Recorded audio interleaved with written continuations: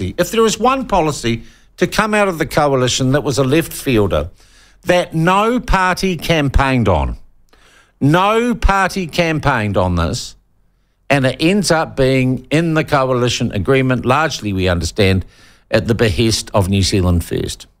It is essentially a stop or putting a pin in a number of reforms designed to restrict the ability to buy tobacco products in this country.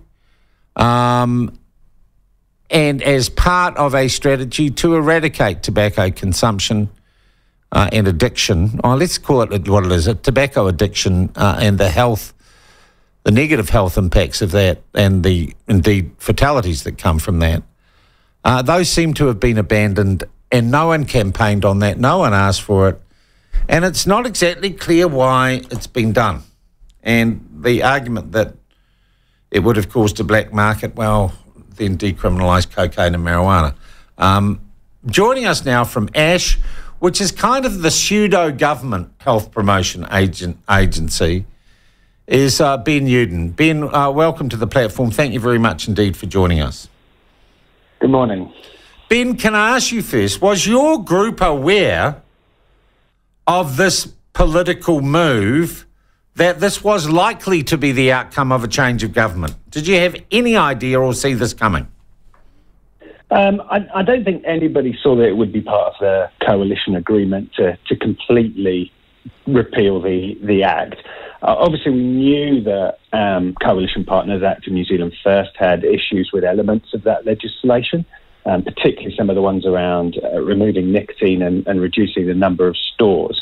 Um, and it may be that those particular parts may need some kind of review or repeal, and they may not have been happy about them. But when the coalition agreements came out and said it was going to repeal the entire act, that, that certainly wasn't something that, that we'd expected to see.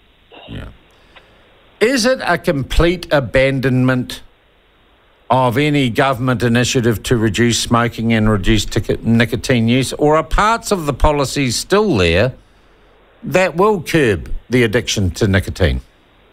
Uh, well, I hope there's I hope there's something that can be salvaged from from this because I mean, looking at what the coalition partners didn't want, it's with particular reference to, to the kind of three headline policies of the smoke-free generation, the nicotine reduction, and, and dropping the stores to, to 600 next year.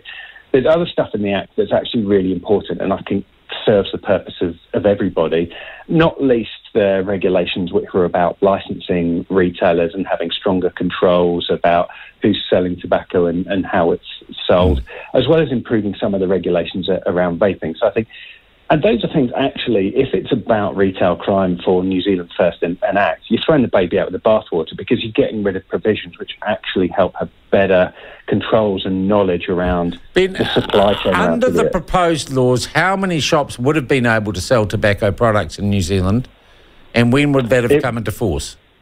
It would have been 600, um, down from an estimated 6,000 by June 2020, uh, 2024. So it would have been a 90% reduction in, in well, well that is pretty draconian and pretty quick. Yeah, and certainly when, when Ash submitted on the legislation, um, we, we felt that a sort of rapid overnight reduction could well cause some some issues and, and some concerns, and um, we'd like to have perhaps seen a, a, a slow rate of reduction, which I think would have been probably more pragmatic and worked in line with smoking rates going down.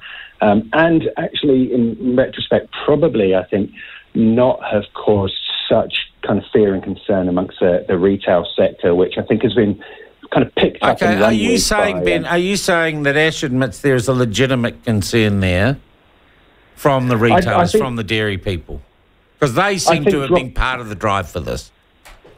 I, I, I, of course there is. I mean, if there's six thousand people selling cigarettes and they've they've largely known, I'm not been sure what's going to happen, and under a very very short timeline to reduce down to to, to 600. And I think that um, we certainly suggested during the, the process of the bill going through uh, going through Parliament last year um, that there needed to be a bit more engagement with that that sector and and um, supporting them through that transition. Um, and I think it has yeah, the, the, fact that that hasn't necessarily happened has definitely been um, caused quite a bit of this this concern and this backlash as, as well, which has come from the coalition partners. Yeah. So it's not about saying we don't want that the reduction. But even you are prepared to admit that there was maybe too much too fast. Uh, what about the thing with, and I understand this kind of creeping grandparenting or grandchilding ability and access to tobacco. Does that continue or not?